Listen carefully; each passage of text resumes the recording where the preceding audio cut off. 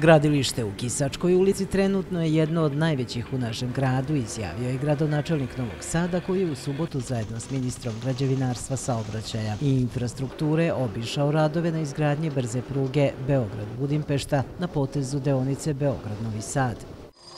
Radovi su na novom, velikom, modernom nadvožnjaku i praktično predvorju ulaska u našu novosadsku glavnu železničku stanicu.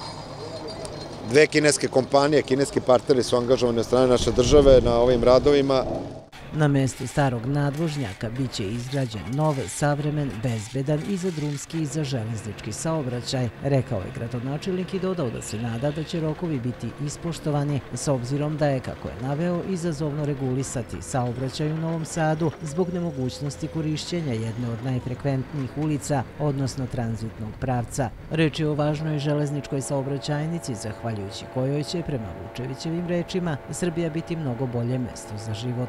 To će biti nešto što potpuno menja narativ razvoja grada i Novog Sada, naravno i Beograda, ali i svih gradova koji se nalaze na trasi.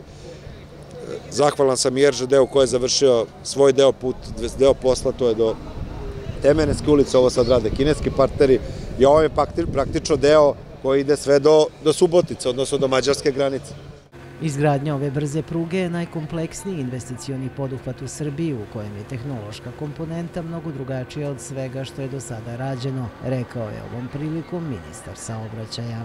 Ovoj projekat zajednički radimo, on je danas baziran na brzoj prugi od Beograda do Novog Sada, ali već za nekoliko godina ova pruga će spojiti i Novi Sad, Suboticu sa Budimpeštom, sa zemljom Evropske unije, sa Mađarskom koja nam daje veliku podršku. Ministar je rekao da očekuje da će radovi na ovom nadvožnjaku biti gotovi do 1. marta, kada će pruga biti puštena u rad, a saobraćaj u Novom Sadu normalizovan.